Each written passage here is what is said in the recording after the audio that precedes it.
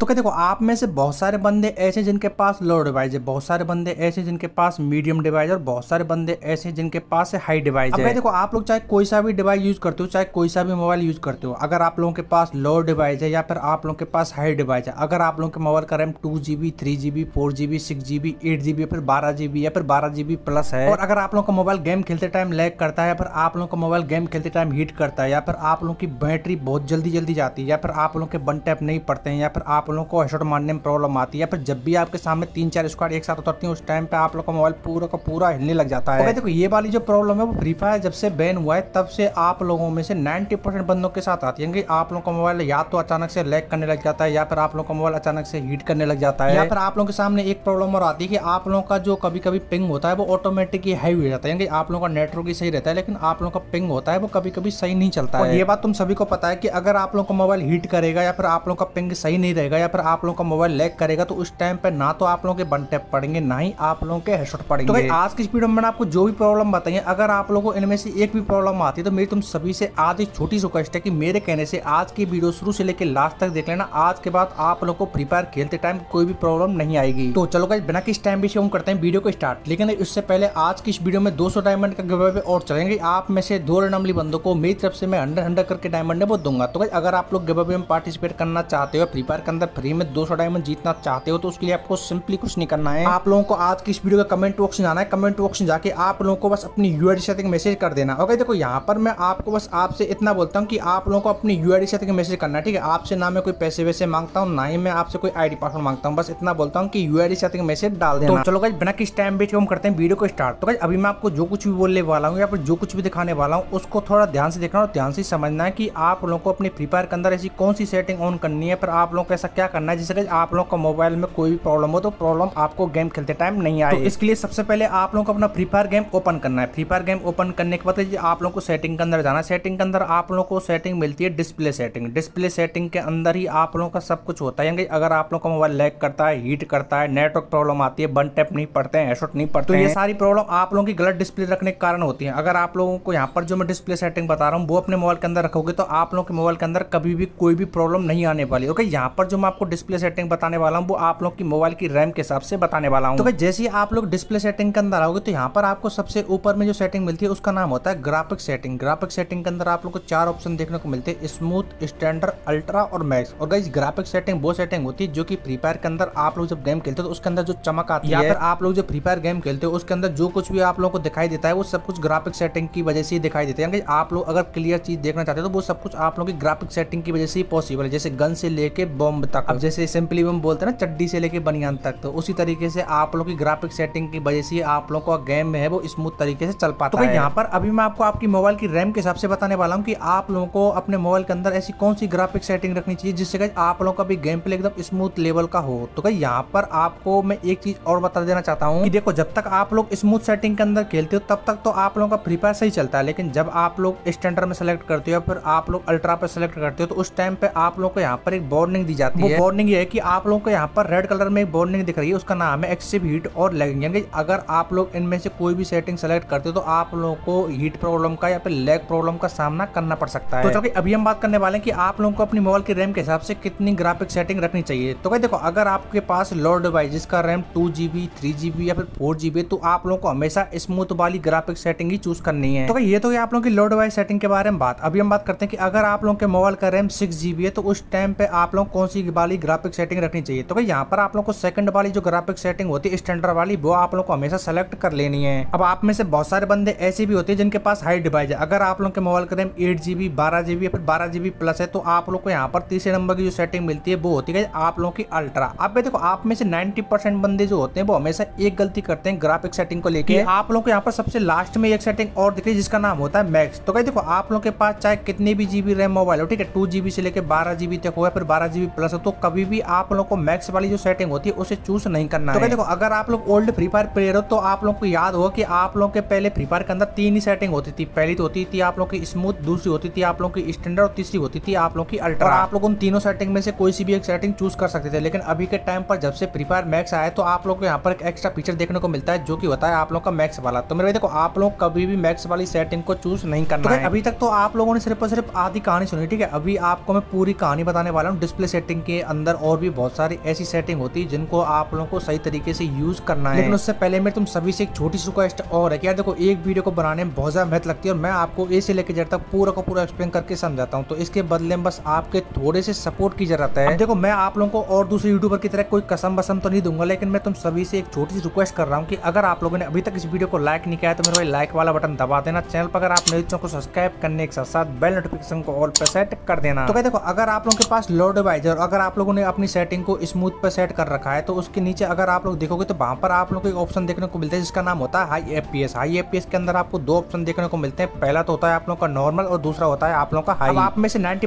बंदे गलती क्या करते हैं कि आप लोग का मोबाइल थोड़ा सा भी लैग होने लगता है तो उस टाइम पे आप लोग हाई एफ़ को नॉर्मल पर सेट कर देते हो तो आप लोगों का और ज़्यादा मोबाइल लैग होगा, ना कि आप लोगों का रुकेगा। तो क्या देखो आप लोग चाहे कितने भी जीबी रैम मोबाइल में खेलते हो आप लोगों को हाई एफ़ को हमेशा हाई पे ही सेट करना है ठीक है? आप लोगों को अगर अपना मोबाइल लैग होने से बचाना है हीट होने से बचाना है या फिर आप लोग को अपना गेम प्ले स्मूथ लेवल का करना है तो, तो क्या देखो आप लोग की जो स्मूथ के अंदर सेटिंग होती है वही आप लोग की स्टैंडर्ड के अंदर भी सेटिंग होती है। लेकिन जैसे ही आप लोग इसे अल्ट्रा पे सेट करते हो तो वहाँ पर आप लोग को एक अलग से सेटिंग देखने को मिलती है उसका नाम होता है हाई रेजुलेशन अब अगर आप लोग यहाँ पर ध्यान से देखोगे तो हाई रेजुलेशन उसको बोलते हैं यहाँ पर जो लिखा हुआ है ना हाई आर तो यही होता है हाई रेजुलेशन तो इसे अगर आप लोग का मोबाइल लैग करता है तब तो आप लोग कर देना इसे नॉर्मल लेकिन अगर आप लोग का मोबाइल लैग नहीं करता है तब आप लोग को रखना है इसे हाई पे साइड उसके बाद अगर आप लोग थोड़ा सा नीचे साइड आओगे तो यहाँ पर आप लोग को एक ऑप्शन देखने को मिलता है जिसका नाम होता है ऑटो स्केल तो आप लोग को यहाँ पर दो ऑप्शन देखने को मिलते हैं एक तो होता है आप लोग का ऑन वाला और दूसरा होता है आप लोग का ऑन वाला तो ऑटो स्केल को आप लोग को हमेशा ऑन पे सेट कर देना है उसके बाद अगर आप लोग थोड़ा सा नीचे साइड और आओगे तो यहाँ पर आप लोग को एक ऑप्शन और मिलता है जिसका नाम होता है नॉच स्क्रीन तो आप लोग को नॉच स्क्रीन के अंदर भी दो ऑप्शन देखने को मिलते हैं एक तो होता है आप लोग का ऑफ़ वाला और दूसरा होता है आप लोग का ऑन वाला तो इसे आप लोग को हमेशा ऑन पे सेट करके और अगर आप लोग सबसे नीचे साइड आओगे तो यहाँ पर आपको एक ऑप्शन देखने को और मिलता है इसका नाम होता है गन शॉट अलर्ट तो आप लोगों को इसे भी ऑन कर देना। अब देखो गाइस गन शॉट अलर्ट ये होता है कि आप लोगों के पास कोई भी इनेमी है पर आप लोगों से दूर कोई भी इनेमी तो है। इनेमी अगर आपके ऊपर फायर कर रहा है पर किसी इनेमी के ऊपर फायर कर रहा है तो आपको अपने मैप के अंदर एक अलग से एरो बन के आए कि इनेमी इधर की साइड से फायर कर रहा है। तो आप लोग इजी पीजी पता लगा सकते हो कि इनेमी ने किधर से फायर किया तो है। तो आप लोग गन शॉट अलर्ट वाली सेटिंग को हमेशा ऑन पे सेट करके रखना है। इसके अंदर आप लोग को एक फीचर और देखने को मिलता है इसका नाम होता है मिनी मैप तो मिनी मैप के अंदर आपको दो ऑप्शन देखने को मिलते हैं एक तो होता है आप लोग का नॉर्थ अप और दूसरा होता है आप लोग का रोटेटिंग तो आप लोग को हमेशा इसे रोटेटिंग पे सिलेक्ट करके रखना है। और आप में से बहुत सारे बंदे ऐसे जो कि फ्री फायर के अंदर ना तो टॉप करते हैं, ना ही आप लोग के पास डायमंड लेने के पैसे। तो आज की वीडियो के जैसे आप लोग कमेंट बॉक्स में जाओगे तो वहाँ पर मैंने एक वीडियो की लिंक पिन कर रखी, जहाँ पर मैंने आपको प्रूफ के साथ बताया कि आप लोग फ्री फायर के अंदर फ्री में दो डायमंड किस तरीके से ले सकते हो। लेकिन वो वीडियो को देखने से पहले मैं तुम सभी से वापस रिक्वेस्ट कर रहा हूँ कि अगर हो सके तो मेरे भाई लाइक और सब्सक्राइब वाला बटन याद से दबा देना, क्योंकि एक वीडियो को बनाने में बहुत ज़्यादा मेहनत लगती है और ना तो लाइक करने के पैसे लगते हैं और ना ही सब्सक्राइब करने के पैसे लगते हैं। तो अभी के लिए बाय बाय